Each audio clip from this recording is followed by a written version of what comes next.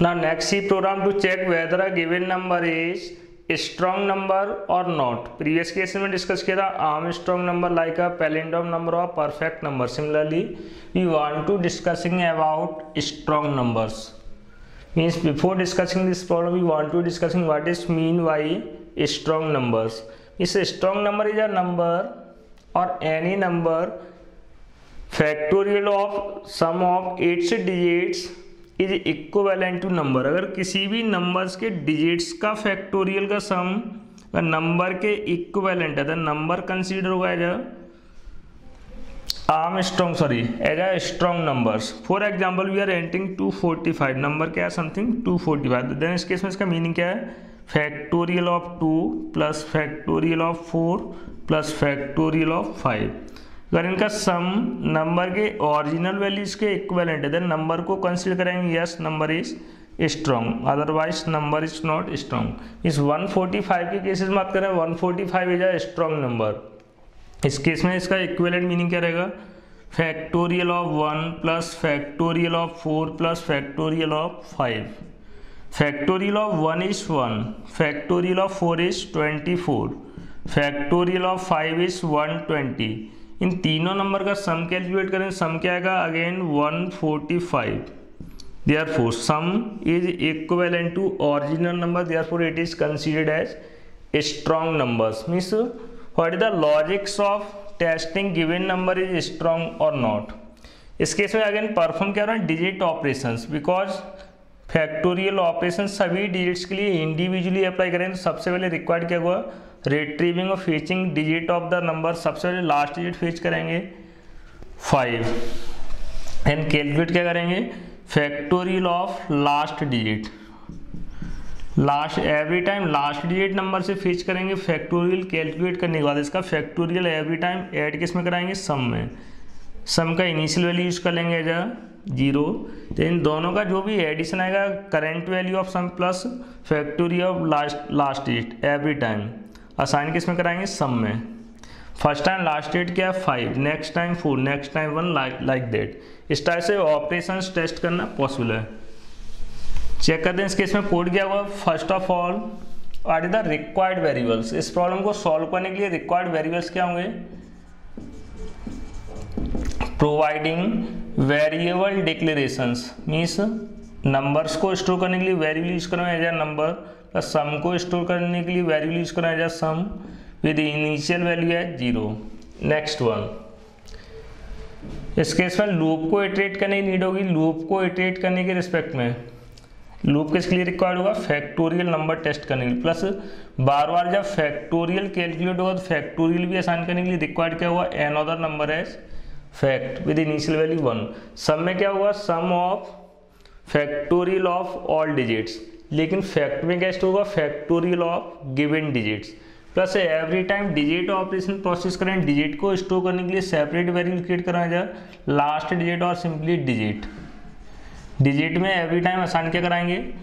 Last digit like date जैसे इस program का एग्जीक्यूशन स्टार्ट होगा total required variable declaration provide कर रहा हूँ इस केस में. How many variables are required first one original number next one sum with initial value 0 next one, i and factorial.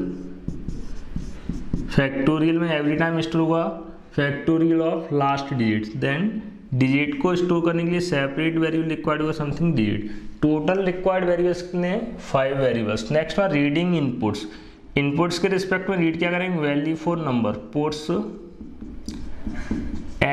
enter number. Puts enter number. Scanf percent D percent D only single number read करना, इसलिए format space bar use करेंगे only one times simply percent D M percent of number value read करने के just बाद आपको loop required होगा।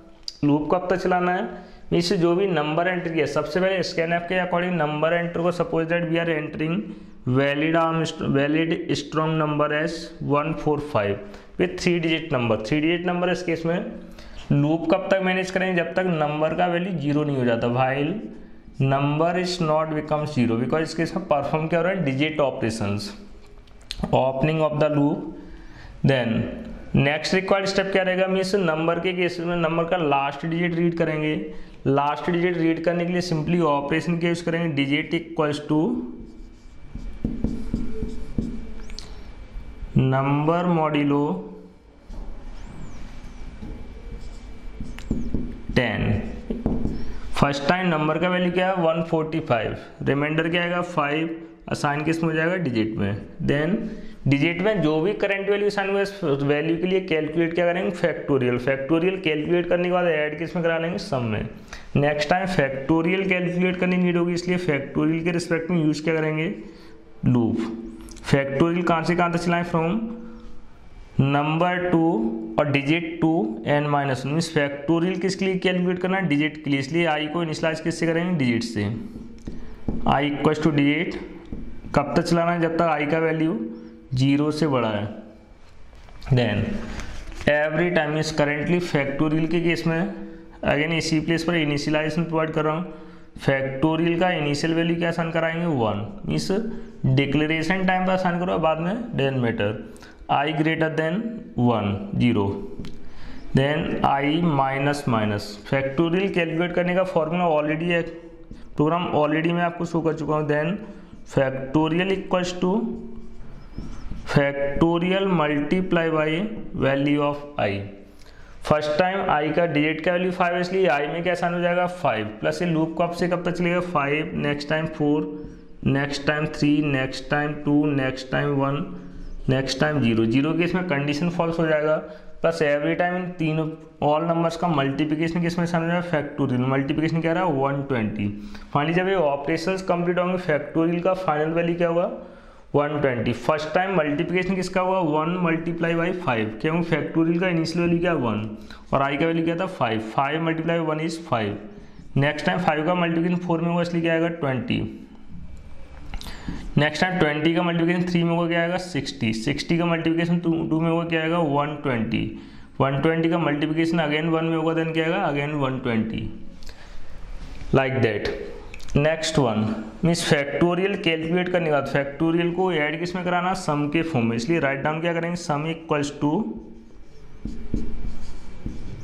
sum equals to sum plus current factorial value sum का existing value zero plus factorial value क्या इसका? One twenty add क्या हो जाएगा? Zero plus one twenty one twenty assign to the variable sum अब value of sum becomes one twenty next required operations again means इस case में number का last digit five था फाइव प्रोसेस कर चुका फाइव को डिलीट देन प्रोसेस किसके लिए करेंगे? फोर के लिए।